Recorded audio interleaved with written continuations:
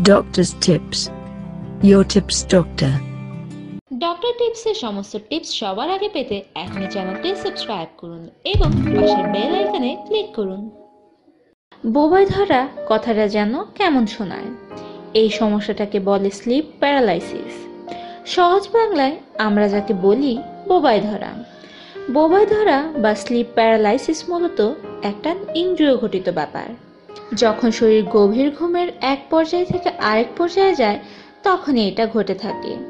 বোবা ধরলে একজনের এক এক রকম অভিজ্ঞতা হয়। কেউ ঘরের ভেতর ভৌতিক কিছুর উপস্থিতি টের পান, কেউ দুর্গন্ধ পান, কেউ বা ভয়ানক কোনো প্রাণী দেখতে পান। মোট কথা, তখন একটা হ্যালোজিনেশনের মতো অবস্থার সৃষ্টি হয়।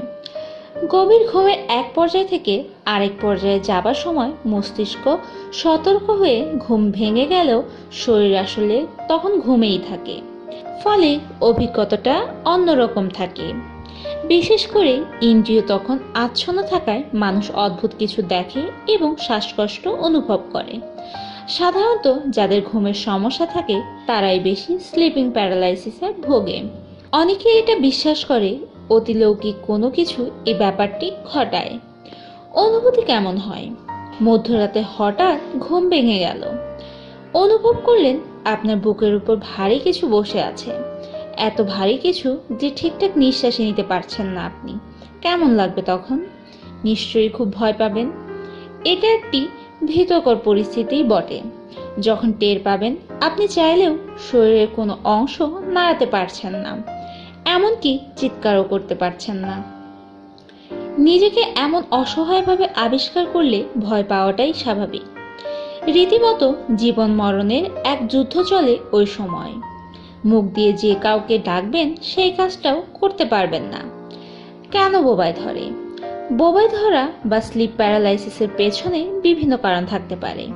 এর অন্যতম কারণ হলো চাপের মধ্যে থাকা এবং যথেষ্ট পরিমাণে বিশ্রামের অভাব। অনিয়মিত ঘুমও এর আরেকটি কারণ।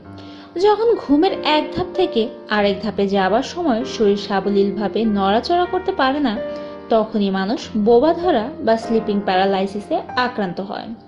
এছাড়া আরও কিছু ব্যাপার বোবা ধরার কারণ হতে পারে। যেমন, ঘুমের নির্দিষ্টতা না থাকা, মানসিক চাপ, দুশ্চিন্তা, ঘুমের সঙ্গে জড়িত অন্যান্য সমস্যা হাত পায়ের মাংসপেশিতে খিচ ধরা অনিদ্রা, বিষণ্ণতা ইত্যাদি। পরিত্রাণের উপায়। বোবাই ধরা বা স্লিপিং প্যারালাইসিস থেকে বাঁচার সবচেয়ে গুরুত্বপূর্ণ এবং সহজ উপায় হলো ঘুমের নির্দিষ্ট সময় মেনে চলা। এই সমস্যাটা সাময়িক, কিন্তু যদি এটা ঘন ঘন হতে থাকে এবং কোনো শারীরিক বা মানসিক সমস্যার জন্ম দেয়, তাহলে অবশ্যই ডাক্তারের পরামর্শ গ্রহণ করতে হবে। আমাদের এই ভিডিওটি যদি আপনার ভালো লাগে, তাহলে কমেন্টে ইয়েস লিখুন। এবং আমাদের কাছে কি ধরনের টিপস ভিডিও দেখতে চান তা জানিয়ে অবশ্যই কমেন্ট করুন। ডক্টর টিপসের সমস্ত আপডেট পেতে এখনই আমাদের চ্যানেলটি সাবস্ক্রাইব করুন। প্রশ্ন থাকলে কমেন্ট করুন। ভালো লাগলে লাইক ও শেয়ার করুন। ধন্যবাদ।